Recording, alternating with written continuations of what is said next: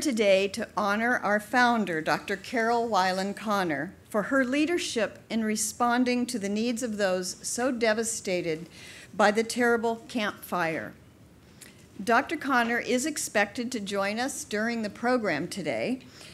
Because she had back surgery recently, her doctors have advised her not to sit for too long, so during the program, she'll just slip right in and join us.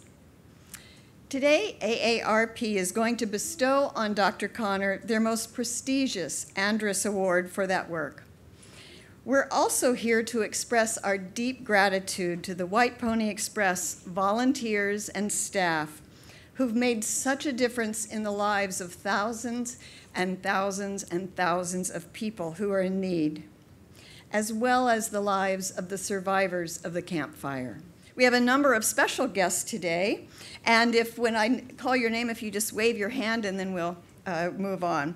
Uh, Matt Rinn, Mayor of Pleasant Hill, Ken Carlson, Council Member, City of Pleasant Hill, Teresa Gerringer, Council Member, City of Lafayette, Eduardo Martinez, Council Member, City of Richmond, Georgia Scudia, District Director, Office of State Senator Steve Glazer, Colleen Eisenberg, District Representative, Supervisor Karen Mitchoff, Samantha Iturralde, Field Representative, Office of Assembly Member Timothy Grayson, Ryan Thomas Brown, District Representative for Congressman Congressman Mark DeSaulnier, Ramona McIntyre, President and CEO, Pleasant Hill Chamber of Commerce, Delano Johnson, founder and president, All in One Bay Point Nonprofit, Charles David, VP, All in One Bay Point Nonprofit, Tom Dearmore, Community Services Manager, Community Action Agency of Butte County.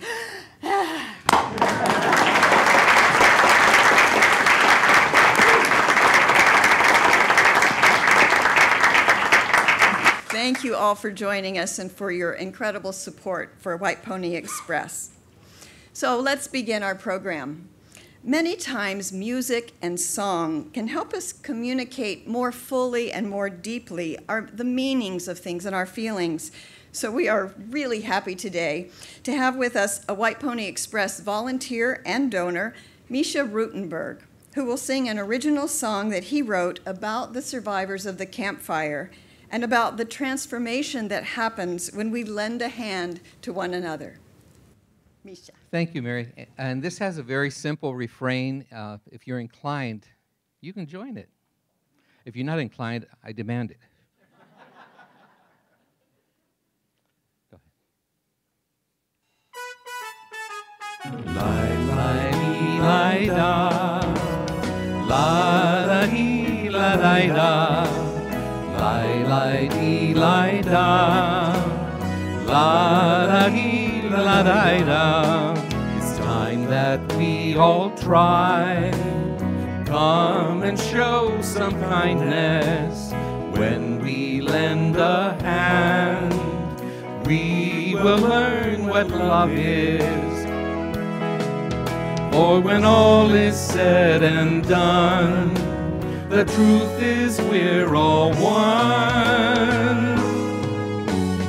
Old and tired, no one to call. In the blink of an eye, I lost it all. No clothes, no bed, nothing to eat. You came along, helped me on my feet. I was falling and I couldn't stand. You arrived with a helping hand with water, food, and clothes, and love in your eyes. May we all see and realize it's time we all try. It's time that we all try. Come and show some kindness when we lend a hand. We will learn what love is.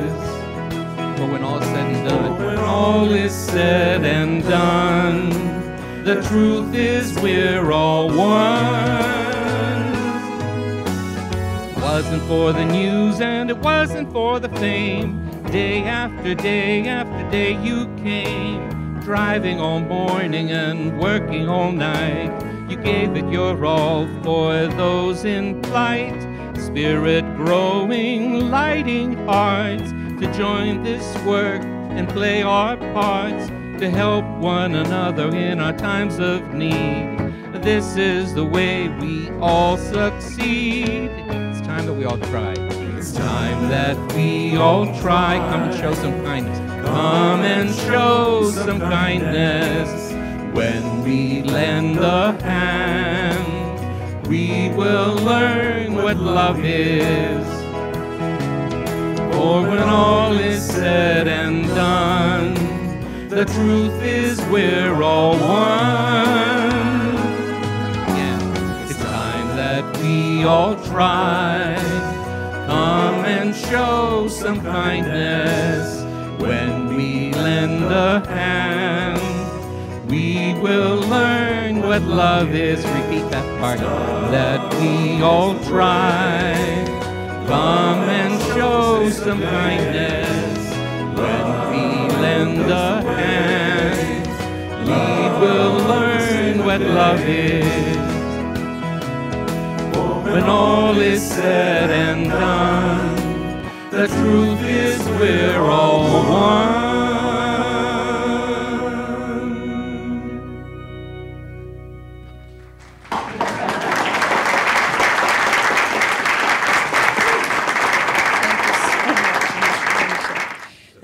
Helps set the tone, doesn't it? So we're here today in the White Pony General Store, and you may wonder what goes on here and how exactly does the store work. So I've asked the store's manager, Steve Harrell, to say a few words about how the store works. Steve? As you can see all around you, thousands of new and like new items of clothing, books, shoes, toys, and games. And we, we gather these items to make to give to those who are in need, our neighbors in need. And those neighbors could be people who are homeless, those who are in impoverished neighborhoods, or those who are living on the edge. We also give them these items through a mobile boutique. We stage 62 of them, and we create an atmosphere of happiness with music playing.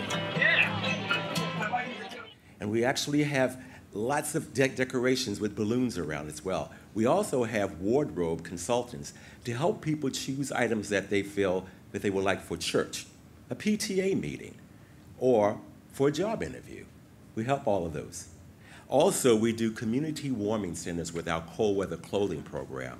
We help those who are homeless. As you all know, oftentimes the shelters are closed during the day, and people use libraries as warming centers. So we've partnered with the Contra Costa Library and given them emergency backpack kits, which includes blankets, Mylar blankets, those are the ones that EMT people use.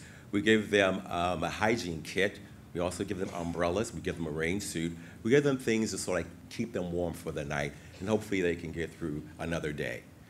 We also distribute 500,000 items. So we give away tons of, of items, and we want all people who come for the free is what we give them away to. So, Mary?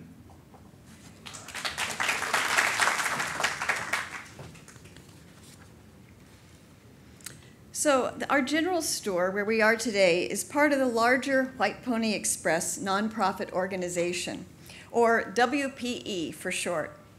Dr. Conner, who we're honoring today, created WPE when she learned that many of our neighbors don't have enough resources to feed the their families or, or to purchase warm clothing for the winter or clothing for a job interview. And nonprofit groups and shelters in this county often don't have enough resources to help them. And we have over 70 nonprofit partners that we work with. If you've heard of someone in Contra Costa County, we're probably partnering with them. But Dr. Conner also knew that we live in a county of great abundance.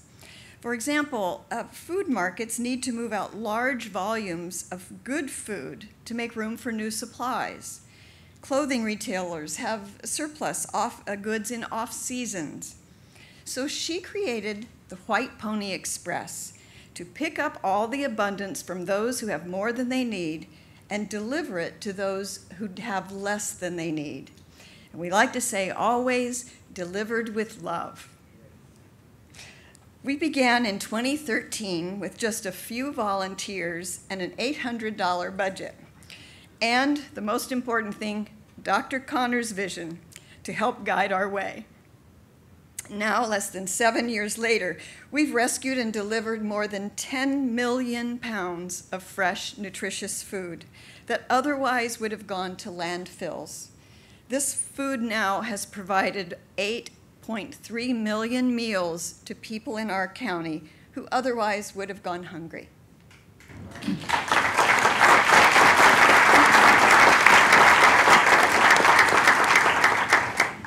We operate seven days a week. Every single day, we pick up and deliver over 7,000 pounds of high quality, largely perishable, fresh, surplus food, all given away for free. We recently, I want to call this out because you have some volunteers here from Food Rescue and some staff from Food Rescue. Recently, we had our largest food delivery, uh, food rescue day ever, bringing in and delivering out in the same day 18,000 pounds of food.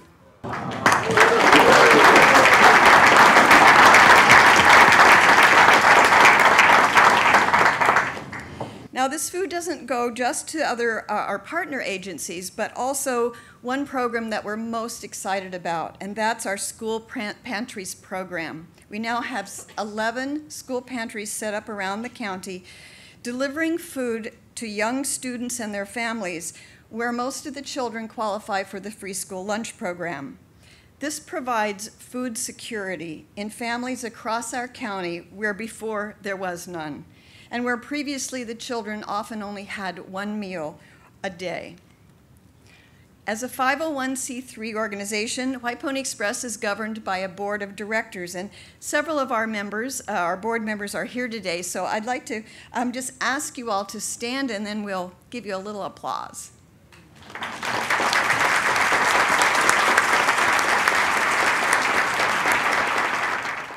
Having been on the board myself, I know they work really hard. Uh, now we'd like to share with you the very real drama that's the background to the honor that AARP is bestowing on Dr. Conner today. The devastating Northern California Camp Fire in 2018 killed 85 people and destroyed over 18,000 buildings practically overnight, it left thousands of people homeless and destitute with no assured sources of food, clothing, or shelter. Their shock and trauma was really overwhelming. And to give you a better sense of what the survivors went through, we're going to show a five minute video about the fire in the town of Paradise. It's taken from the PBS series Frontline. Uh, let's begin. Paradise there's something about it. It's healing to be here. You never felt more safe than out there in the mountains. My phone illuminated, said there was a vegetation fire in the canyon. I came out of the community of to get a better look at it.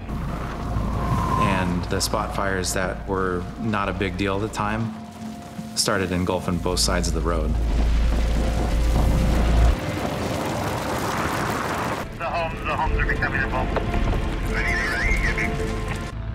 But the campfire was now spreading at a rate of 80 football fields a minute. The smoke, swirling with burning pine needles and pieces of houses, turned day to night. An area would catch on fire, homes would catch on fire, generating heat, which would throw more embers. That would start another fire. In a typical fire, the smoke travels straight up, where cooler air puts out most of the embers. But in this fire, winds high up of up to 100 miles an hour were blowing the embers sideways. Is it safe to stand here like this? I don't know if it's safe anywhere. We just get in the car and we can't even pull out because there was cars all the way down. You couldn't even get on the road. Oh, there's a power line in the road. Everything was red. Everything just seemed like panic. Feel the heat, dude. I'm literally so scared. I really want to make it. I started freaking out because the fire's coming at us and I didn't want to see it. I didn't want to feel it. Like, I didn't want to be there. I just kind of wanted to disappear because I couldn't believe this was happening. Like, I didn't understand why not everyone was flooring it. Like, we were all about to burn alive. Like, why is it everyone, like, full speed ahead? Like, why are we stuck? Like, why? How? And put everybody out. Pearson and Sawmill need to stop all traffic. Planes, get people moving now. And I'm on, my, on the phone with my husband and I'm screaming for him. I'm like, Nick, you gotta get to me. You have to hurry because I'm not gonna make it. And he said, I'm trying. I'm gonna get to you. And I'm like, I'm gonna die. And I'm I'm so sorry. The road's completely engulfed in flames. And I told my husband, I'm like, the car's filling up with smoke. I have to get out of the car. And he's like, get out and run. And I'm like, I can't get out and run. You don't understand. There's fire everywhere, and I can't run through fire. And he said, You're gonna have to.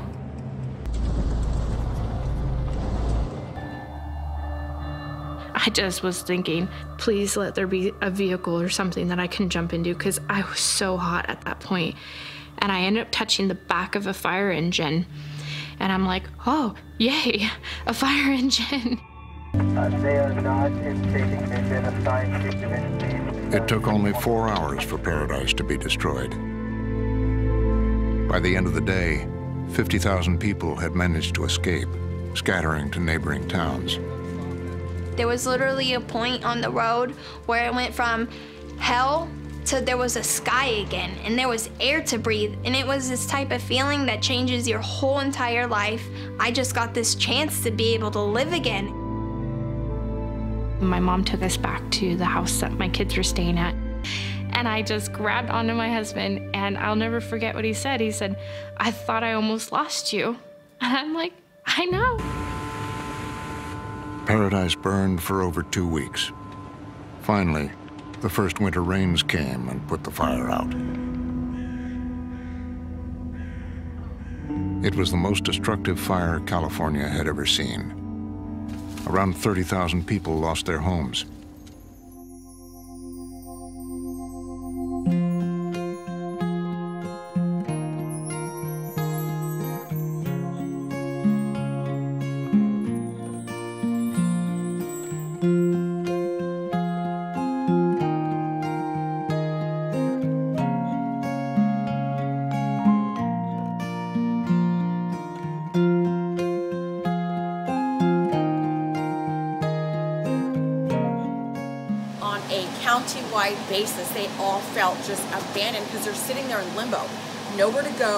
No money, no shelter, no food.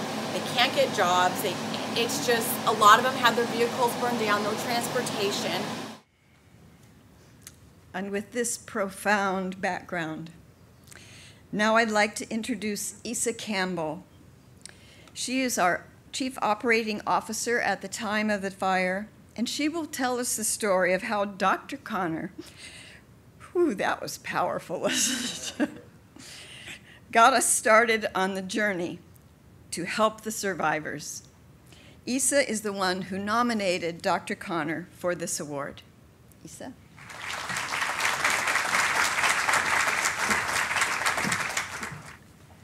Hello, everyone. Shortly after the campfire, Dr. Conner contacted me and asked me if we could immediately start delivering food and clothing to the survivors. Now, we all felt, or many of us felt keenly, the loss in paradise. My sister and brother in law lost their home, beautiful home, and everything in it. But even with this, I didn't think that we could, on any kind of regular basis, take food to people who were more than three hours away. But Dr. Conner felt strongly that we needed to support our neighbors to the north. She mobilized volunteers to deliver food, clothing, and cash that she would give.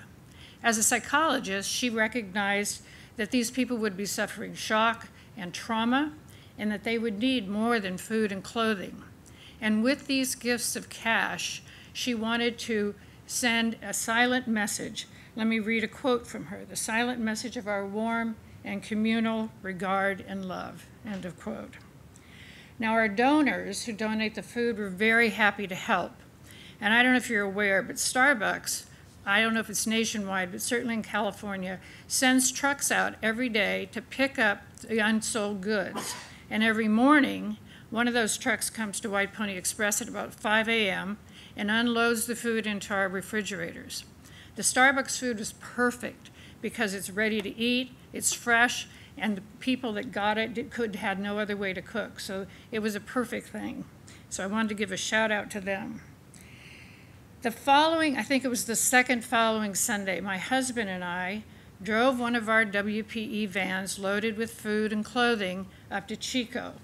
And I want to paint a picture for you here because imagine this little city filled with smoke, uh, as most of the state was. In addition, there were helicopters, there was the National Guard, there was media, there were celebrities, and there were thousands of trucks pouring into this city with every conceivable good you could think of.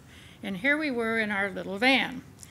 Well, we were not welcomed by FEMA or the Red Cross or others, primarily because they have strict guidelines about what you do during a disaster, and working with us wasn't one of them.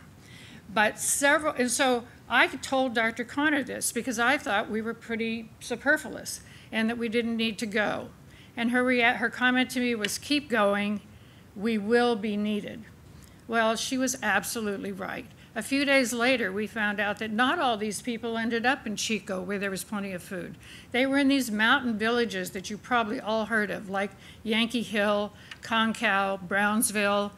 Um, pretty soon it became, we got in touch with these uh, people that had helped them get there, and we started delivering food to people in these remote locations. So we obviously were needed. Um, what was interesting is that we had continued to try to work with FEMA, and then um, they, they, about three months in, started putting up their trailer parks and housing people, because up to that point, these people were really living in tents. And I don't know if you remember all the rain that we had. Anyway, they got them into trailers, and then they realized they had no way to feed them. I didn't know that FEMA didn't do food, but they don't. So they contacted us, and they said, yeah, can you deliver to our trailer parks in Yankee Hill? And they named a bunch of places. And we said, sure. So we did that for the over 10 months that we were sending food up to the fire. So we ended up working with them very well. This is kind of funny.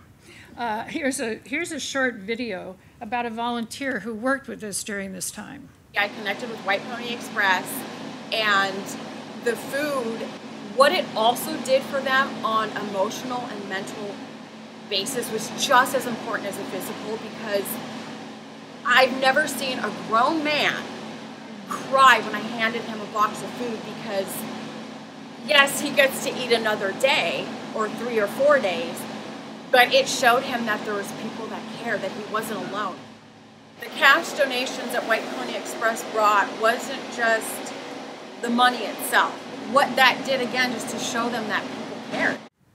Okay, here's some slides and pictures. This is the type of van I was talking about that we drove up, and you can see the fresh food that's laid out for people.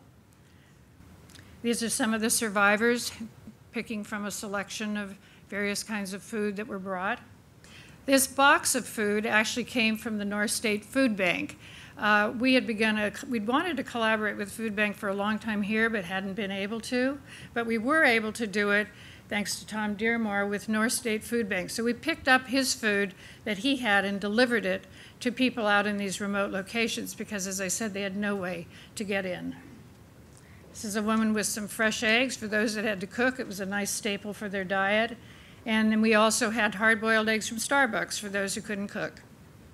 This is Judith Parker and volunteers handing out special treats that Dr. Conner had prepared for them from time to time. Judith was one of our key volunteers in this effort. This last photo shows two of our volunteers and Tom Dearmore, the head of the North State Food Bank, along with his program director, Lee Wells. Tom is here with us today, and we look forward to hearing Tom say a few words. Tom?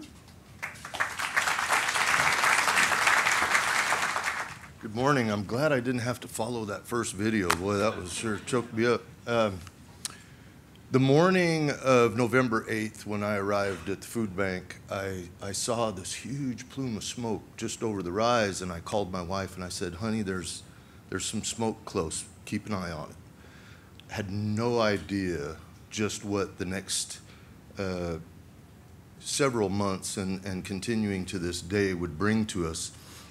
The North State Food Bank serves six counties uh, surrounding that fire that you just watched. We are the food bank. We supply 52 food pantries in the area. We weren't contacted by FEMA. FEMA contacted uh, you guys clear down here in the Bay Area, and uh, we were really logistically having a, a struggle getting food uh, to the survivors. They were spread out. Many didn't go to shelters. Most were doubled and tripled up with friends and family. We didn't know quite where they were, and FEMA wouldn't tell us. They said that was confidential. We just wanted to get food to them. So we were doing our best with some pretty limited resources, and then one day out of the blue, I got a call from Judith Parker, White Pony Express. Never heard of White Pony Express. And in they came like like a white pony, you know. They just they they came in in these vans, and they were so organized, and they had volunteers that I wish I could get paid employees that were as good as these volunteers. And so we were able to uh, supplement what White Pony was bringing up with offerings of our own. And because of that effort, we, we reached many, many more people than we would have been able to otherwise. I, just also want to mention that it was more than food. Um, at the food bank, we typically don't have uh, much more time or, uh, or personnel than it takes to drop food off and go to the next stop. White Pony didn't do that, and they were just as busy or busier than we were. They stopped and they they tried to understand people and they tried to make a connection with people and they fed them in ways that was more than food. And people still talk about White Pony up there. It, you'd think that it was a local organization, uh, not 110 miles away. But you made a, a huge difference in our community, and we're very grateful. We, we couldn't have done all we did without you. Thank you very much. Thank you, Tom. You've been a great collaborator, and we look forward to more, hopefully under happier circumstances. I mentioned some of these towns that you probably hadn't heard of. One of them was Concow. And Concow is a beautiful place, but it was completely wiped out by the fire. If I had time, I could tell you some amazing stories about the people there. We started delivering food to them. It's pretty much out, you know, in the sticks, in the hills, but it's gorgeous. And we started delivering food to the back of the hardware store there that managed somehow miraculously to stay standing. Um, we noticed after about three or four months that people were still struggling to maintain a kind of balance in their lives. So Dr. Conner, at Easter time, thought, well, let's do an uplifting Easter event just for them. And let's see some photos of that event. It says more than I can. So Dr. Conner had volunteers prepare these Easter baskets and angels to hand them out to everyone. Aren't they beautiful? In addition, individual lunches were made for everyone, but all by volunteers under Dr. Conner's direction. There were games for the children. There was a puppet show presented to the kids. And from this very room right over there, we took games and toys for the children to have. I love this last photo. Um, Dr. Conner reasoned quite accurately that people not only lost their homes, they lost everything in it, including their family photos. And so she arranged for volunteer photographers to go up and take quality professional photos of the families. This is one such family. After that, she arranged for those photos to be beautifully framed and then sent back to the families.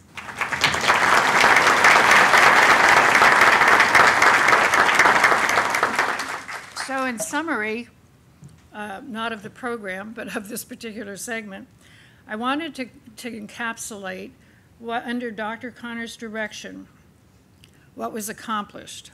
We did 91 trips to the area to serve the survivors. And keep in mind, this is at least an eight hour day for every volunteer that did this. We gave away over 58,000 pounds of food and 1,800 articles of clothing. We gave away thousands of dollars in cash, fresh new bills for necessities, and to put gas in vehicles, a very important thing. So there's no better way to hear than to hear directly from a survivor and one of our volunteers up in the Butte County area. So we'll hear from Terry Rubiolo, who's dedicated her life to feeding the homeless and continued to do that even after she herself was homeless. Then we'll hear from Brian Fredman, and Brian was one of our amazing volunteers in Butte County who found us places where people were holed up, and he found them all over the place. He also then got involved in taking food to some of the families that he grew to know up there. So I think you'll enjoy hearing from both of them. Thank you. My name's Terry Rubiolo. My husband and I run I Am's Garden. We lost everything in the fire. We were serving our community meals and running a small donation center.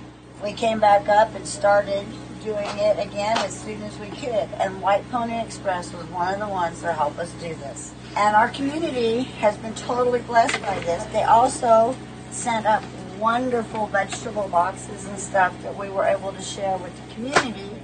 So I just want to tell everybody thank you so very much for helping support Concow and thank you so much for the generous hearts you have. Hello, uh, my name is Brian Fredson, and I live in Chico, California, um, the community that's literally at the bottom of the hill from where all of the uh, mountain communities were affected by the Camp Fire. Uh, we're the community that the majority of the people ran to uh, when they were running for their lives, and uh, also ended up being the community that uh, Red Cross set up and you know, FEMA was here and Cal OES and, and Salvation Army and everybody was here helping. And uh, in order to get their help, these people had to come to Chico. And there were a lot of people that couldn't come to Chico. There were a lot of people that were still up in the mountains, uh, had spread out here and there as far north as, you know, Oregon and down south and all over the country, really. And um, it was White Pony Express that uh, made sure that they reached those forgotten groups of people.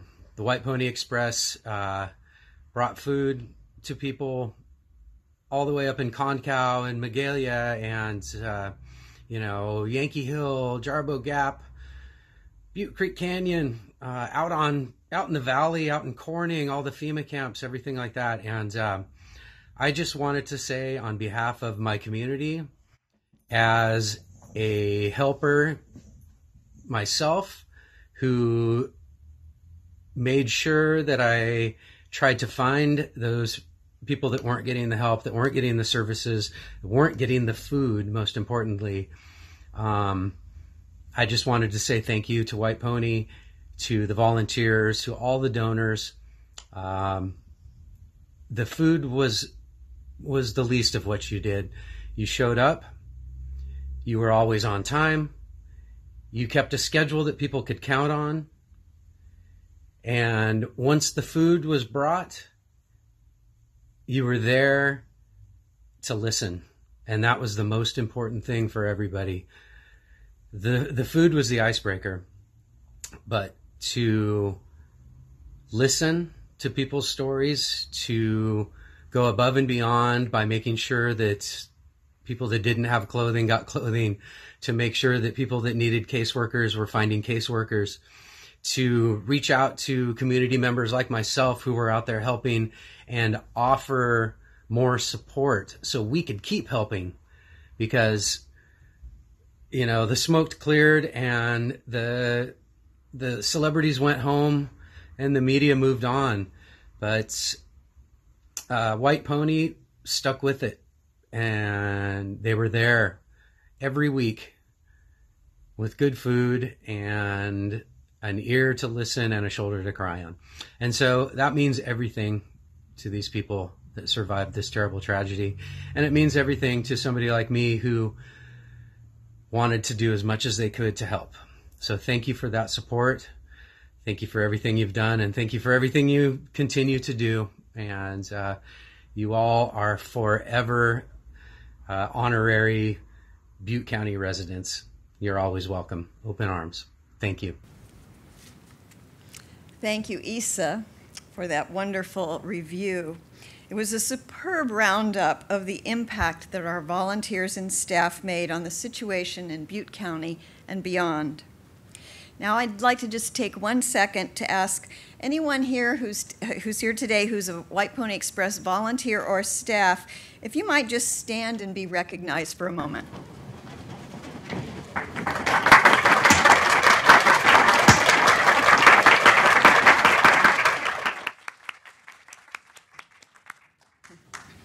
Thank you, each and every one. And thank you to our new friends at AARP California for coming today and allowing us to share this orientation to your award for Dr. Conner and what a remarkable impact her leadership has had on all of us. With us today is AARP, is Nancy McPherson, their California State Director. Nancy leads a team working to advance livable communities on behalf of AARP's 3.3 million California members and others who are over 50 and their families.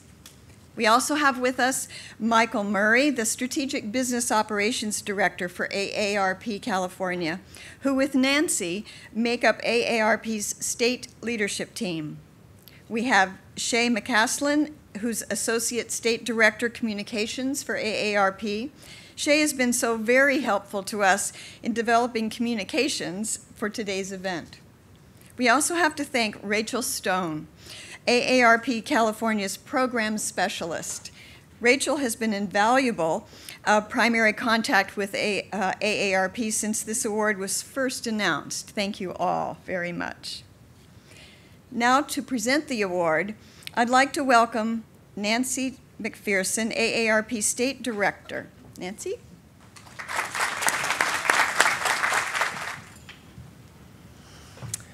Good afternoon. Yeah, I was trying to, morning, afternoon. You know, I'm struck um, by watching the videos and hearing the stories of how important it is to have time for reflection, as well as the doing that really was the machine that moved all of the contributions forward. So today, to have time not just for acknowledgement, but for reflection, I think is really important, certainly for our team and for all of you, I'm sure. So, as, um, as the state director for ARP, I'd like to tell you just a little bit about why this award is so important. For those of you who may not know, AARP started 60 years ago. We're celebrating our 60th birthday this year under the leadership of another visionary woman, Dr. Ethel Percy Andrus. Dr. Andrus was born in the Bay Area in San Francisco, and as an adult, she went on to work in Los Angeles at Lincoln High School, where she served as the first female president, principal of an urban high school in California. And she is still recognized at that school today. You see um, remembrances of her all over the campus. She found a former teacher who was living in a chicken coop because she could not afford proper housing, food, or health care. And this shocking incident inspired Dr. Andrus to devote the rest of her life to improving the lives of older adults. She first founded the National Retired Teachers Association in 1947 to help protect and advocate for retired educators, and that organization is still present today all over the country. And then in 1958, um, at the request of older adults who could see that the teachers were getting organized, said, We want an organization too. And she founded AARP, and an organization that has continued to grow and serve older adults and their families for the past six decades. Today, AARP has offices in all 50 states, as well as the District of Columbia, Puerto Rico, and the U.S. Virgin Islands and a, a big national presence in Washington, D.C. On behalf of our nearly 38 million members nationwide and 3.3 million members in California, as well as all of those who are age 50 plus and their families, AARP staff and volunteers, over 5,000 volunteers in California, work to empower them to choose how they live as they age. Our organization is driven by Dr. Andrus's belief, and this is one of her quotes, that the human contribution that is That is the essential ingredient. And it's only in the giving of oneself that we truly live. AARP has long valued the spirit of volunteerism and the important contributions that volunteers make to their communities, their neighbors, and the programs they serve, starting with Dr. Andrus, who never took a salary for her work with the National Retired Teachers Association or with AARP. And this is why each year AARP California recognizes an extraordinary volunteer and community leader in our state with the organization's most prestigious and visible volunteer award, the AARP Andrus Award for Community Service. In 2019, the AARP California office received 107 nominations from across the state. And these are from community leaders and from state legislators and other elected officials who are invited to submit a nomination. A selection team convened to review how each volunteer's work improved the community, supported AARP's mission of empowering people to choose how they live as they age, and inspired others to volunteer. This year, AARP California is proud to present the 2019 Andrus Award for Community Service to Dr. Conner, founder of White Pony Express. The, the judging team and then AARP California selected Dr. Conner for her remarkable service and for the significant impact that she has had and continues to have on the life of others, the lives of others. And I will tell you, I had the privilege of talking to people who were both staff, small staff, big volunteer army, uh, at White Pony Express. Um, and it's so clear how much you've touched their lives and how much they love you. During your career of service, you've mobilized people and you had resources that you mobilized as well to serve children and neighbors of all ages. Inspired by St. Francis of Assisi's example of selfless service to all humanity, Dr. Conner conceived the Francis in the Schools program as a way to nourish feelings of love, kindness, and courage in children from low income inner city neighborhoods. She also helped low income families in Myrtle Beach, South Carolina, and launched a project in Washington, D.C. to renew a public park that serves underserved low income residents. And the reason that we're here today, Dr. Conner founded the White Pony Express which works to help those most in need throughout the state. When the devastating Camp Fire erupted in 2018, Dr. Conner and volunteers were quick to act, as we saw from the stories that we just heard. The number of fatalities um, has already been stated, but let me break this down um, why it's so important in relation to older adults. The fire, which killed 85 people in Paradise and nearby towns, took a heavy toll, particularly on older Americans, older Americans who are disproportionate victims in major disasters all over the country. Among the 84 known victims, six were in their 50s, 22 were in their 60s, 25 were in their 70s, 18 were in their 80s, and seven were over 90. And I think it is remarkable that a total of 70 older adult victims out of the 85 who perished. And certainly that caught the attention and commitment of our organization as well. In the aftermath, Dr. Conner and 182 dedicated volunteers, as we heard, made 91 trips. We saw the distance and heard the distance to the disaster area, delivering the most needed items to displaced community members.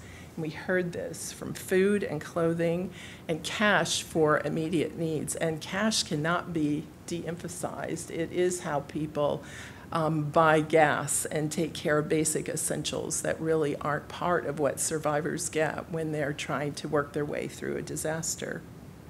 Her nomination said, Dr. Conner has faced this unprecedented and monumental disaster with love, fearlessness, and sheer determination. She has stayed the course. She and her fellow WPE volunteers have played an enormous role in helping feed, clothe, and support the fire victims most at risk. And they showered them with love and compassion. Carol Conner has made a profound difference in these survivors' lives. Dr. Conner, you not only responded to people's physical needs, but to their emotional and spiritual needs to overcome trauma and loss and to regain their dignity, respect, and companionship. You showed humanity when it was most needed. Her record of accomplishment and commitment during a lifetime of service provides an extraordinary example of the difference that volunteerism can make in the lives of individuals and in the well being and vitality of a community. It's an, ex an example that inspires all of us to want to make a difference. ARP California is honored, and I'm personally honored to present you with ARP California's 2019 Andrus Award for Community Service and a $1,000 donation from ARP to the White Pony Express. We have a big check, and we'll take a picture over there, and the real check is in the mail.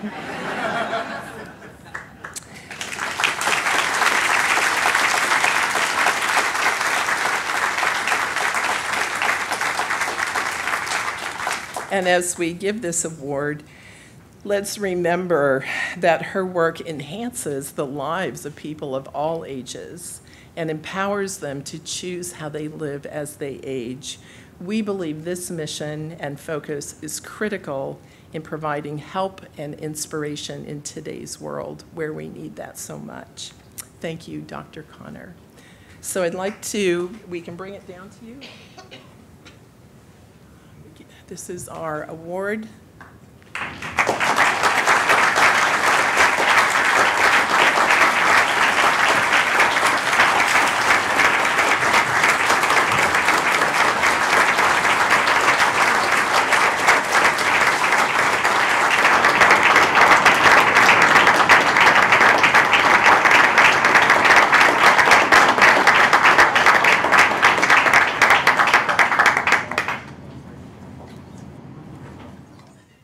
Well, we heard wonderful in vivo presentations of what happened in Butte County.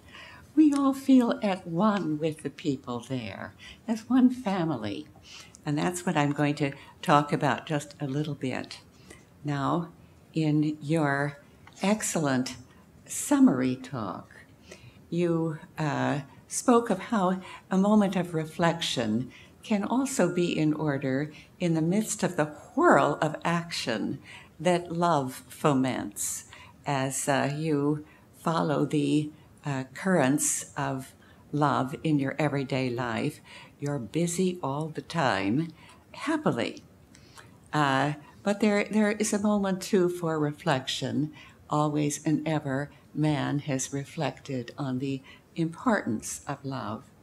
I thought I would put in abstract terms some of the underlying principles of the work that we do, and you here can pair what I say with real things that you have myriad examples of from your experiences there. That's the important thing. It's not the talk, talk, talk, but it's the doing and the contact with others and the uh, one family that we, we all build together, the light we bring to, to, to earth. So, at its core, this is a work of love. There's nothing that love can't achieve, we learned. Didn't you all learn that? Uh, you do every time you follow love. So I say that with confidence. And there's nothing that love can't sacrifice willingly. Best of all is the love that knows how to give without need or concern for return.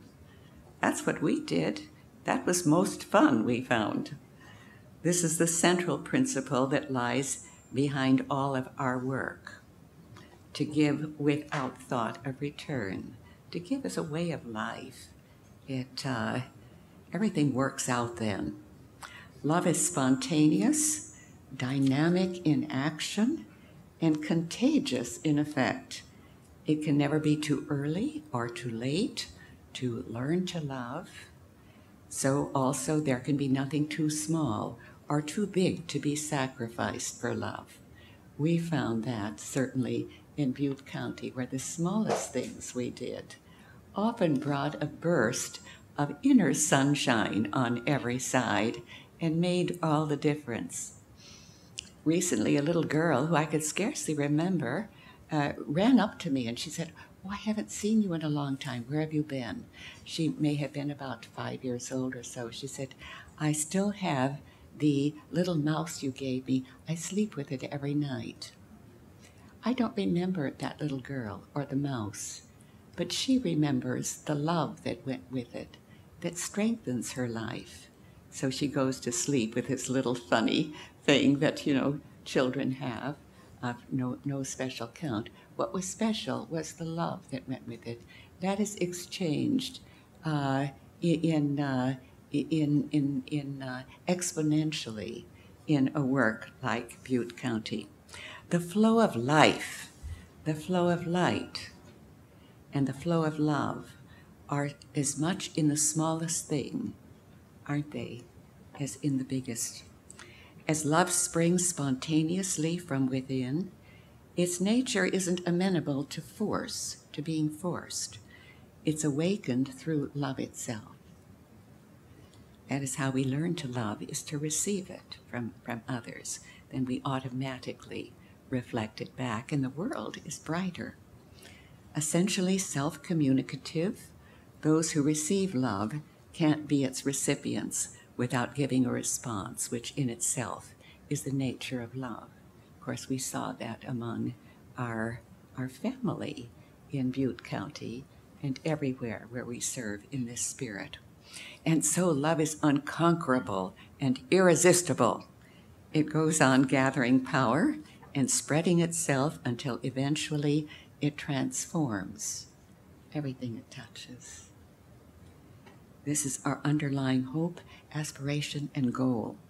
In this way, we wish to hasten the coming of a new spiritual age foretold by worldwide authorities, an age characterized by inclusion, unity, and lasting happiness as one family of man.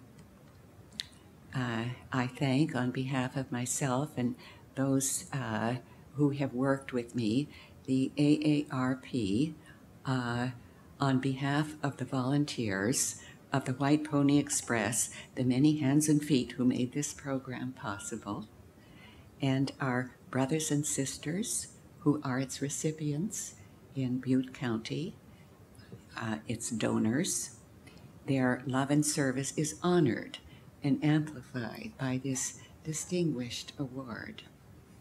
Uh,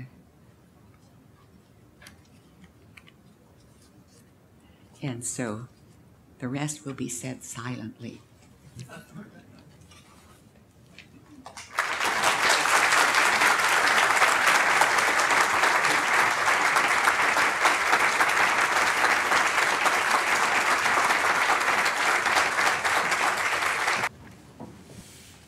Thank you so much, Dr. Conner.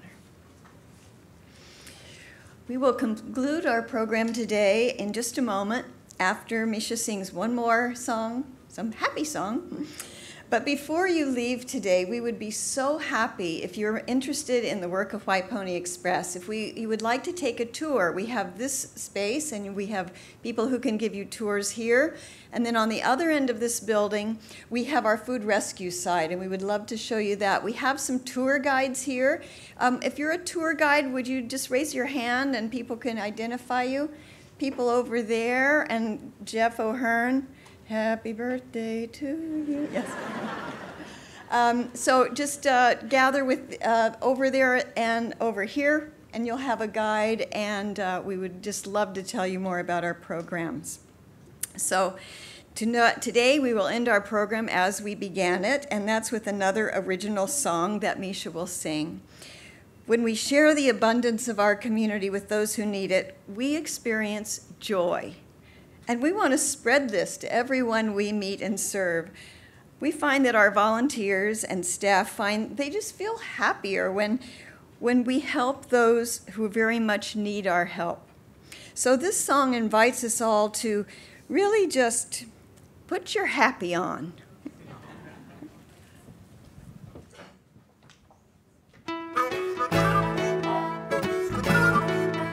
Ready? Come and put your happy on, even if it feels too tight. Doesn't feel natural. Don't worry, it will be alright.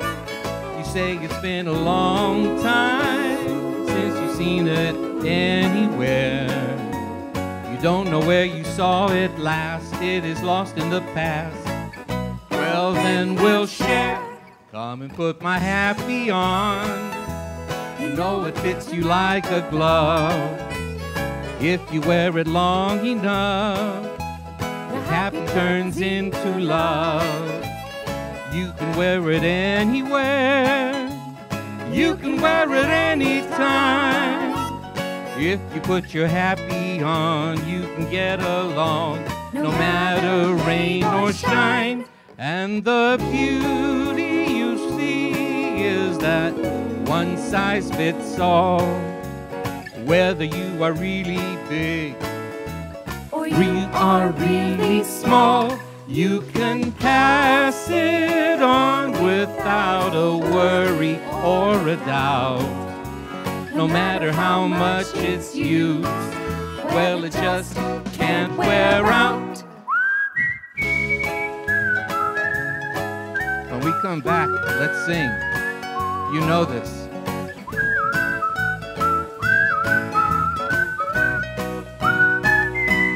If someday we meet and die, I haven't got my happy on. I'm out on lonely street and you wonder where my happy's gone. Maybe you will help me love, help me to find my way. I'll share yours for a while until I can smile and I chase my blues away. Together we can try, oh yes, not to wear our misery. When we put our happy on, it's a better look you'll see. We can wear it anywhere, we can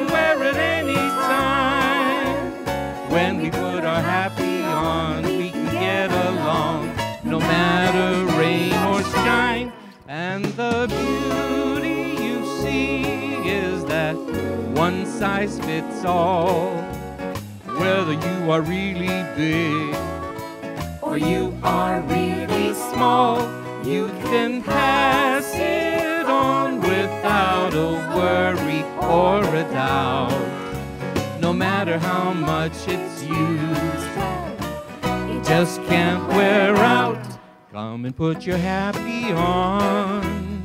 Let it shine, shine, shine with your happy on. You will shine, shine, shine. Don't want to wear no misery.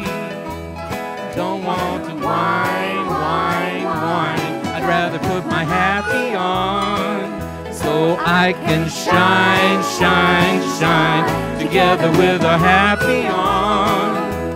We can shine, shine, shine all of the time.